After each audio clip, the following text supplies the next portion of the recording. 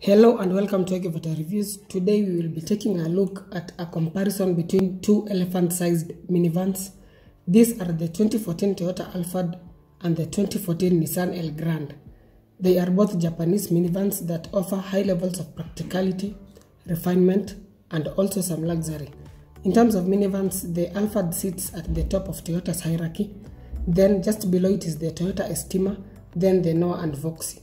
On the other hand, in Nissan's hierarchy, the Elgrand also sits at the top, then just below it is the Nissan Serena. We are going to take an in-depth comparison between these two giant minivans to find out which one you should go for, so please stay tuned. Before we start this video, please consider subscribing to the channel if you find this content helpful. You can also use the details in the description box to support the production of this content by donating. Lastly, if you have a car that's up for sale, and you would like to advertise it on the channel, feel free to reach me via email or WhatsApp. So these two minivans have been around for a long time.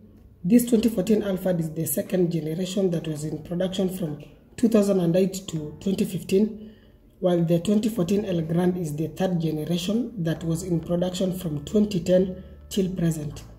In terms of the price, you can get a 2014 Alphard from around 2 million to around 3 million shillings depending on the trim level condition and mileage.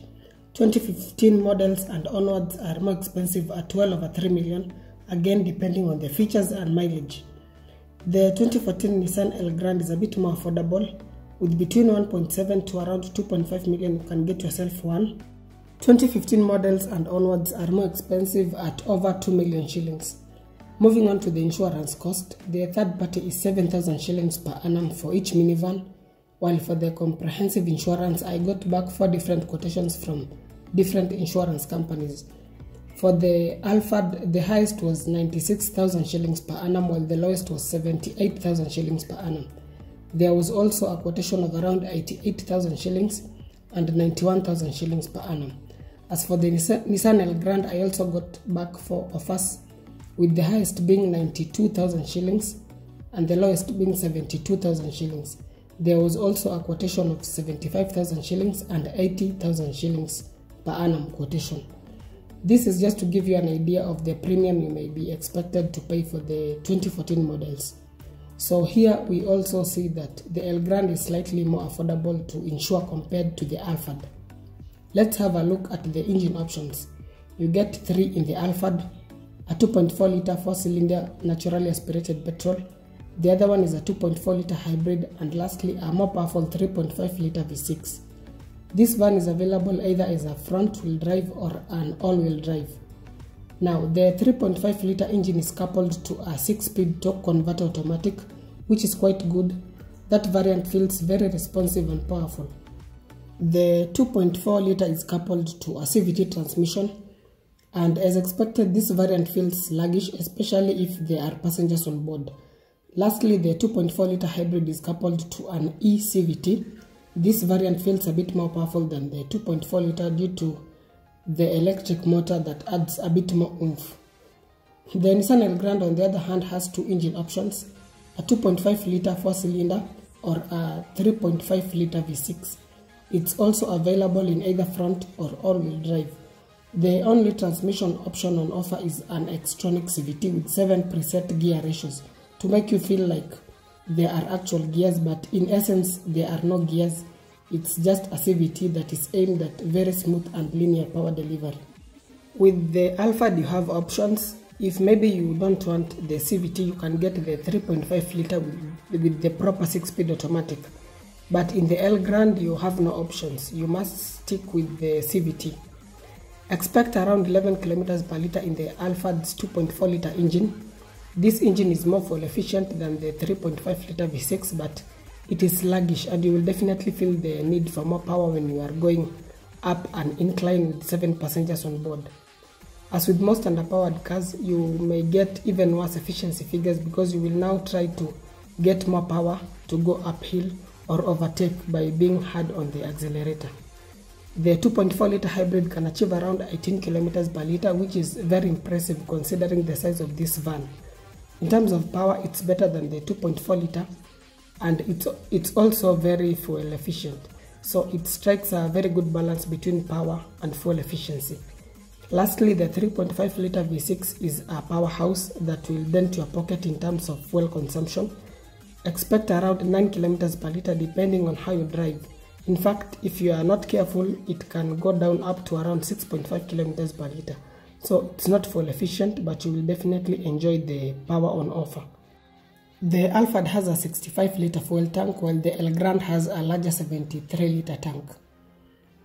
Moving on to the service costs, these minivans are equally matched. It will cost about 11,000 shillings on average to service each van for the minor service after every 5,000 kilometers. As for the major service, it will cost about 20,000 shillings, again on average to service each van after 10,000 kilometers. Note, however, that the 3.5 litre V6 variants may cost slightly more. Also, if you use synthetic oil, you may spend more money, but the service intervals will now be longer.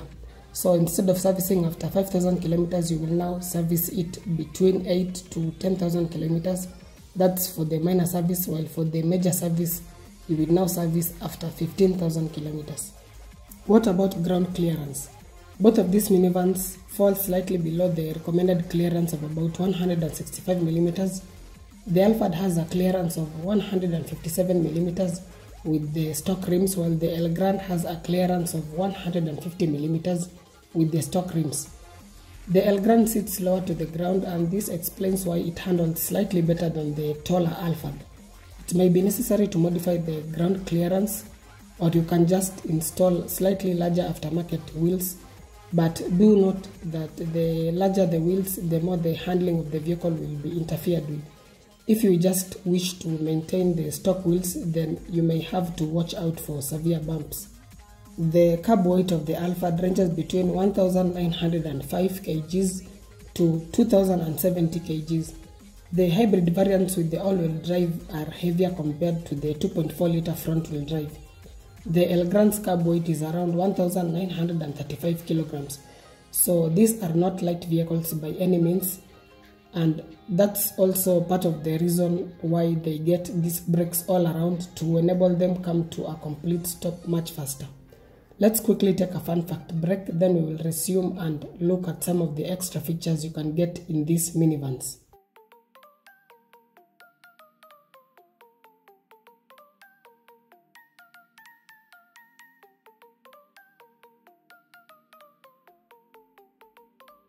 Welcome back. So these being luxury minivans, they can come with lots of creature comfort features such as a sunroof, a roof mounted monitor to keep the passengers at the back entertained, power sliding rear doors, captain seats in the second row, electric leather seats, power tailgate, 360 degrees camera, cruise control and wood finish. So they are well equipped, especially the top of the range variants. Now let's have a look at the exterior and interior designs. As they say, beauty lies in the eyes of the key holder. Which one do you think looks better? Let me know in the comment section. I think based on looks alone, the Alphard has an edge. It tends to look a bit more elegant and expensive. In terms of size, they both look quite big, but the Elgrand is slightly longer and wider than the Alphard. The Alphard is taller, and this results in more headroom in the interior, but the downside is that there is more body roll than in the shorter Elgrand, which has a lower center of gravity. Moving on into the interior, these minivans are both very spacious and supremely comfortable. Their dashboard designs are almost similar.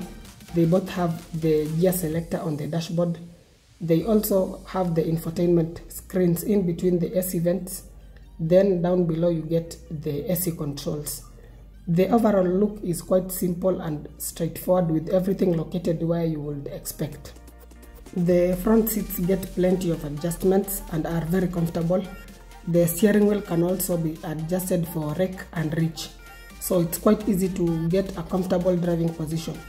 At the second row, the base models come with bench seats, but on the other variants you get captain seats that have leg rests and are absolutely comfortable. The seats in the Elgrand are a bit more wider and comfortable than in the Alphard.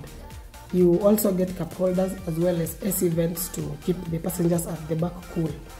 The last row of the seats are bench seats that can accommodate three passengers in both minivans.